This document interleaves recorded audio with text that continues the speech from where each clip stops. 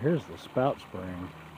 This is a capped spring, and it really lets you tell where the water table is at in all of this. Look at it.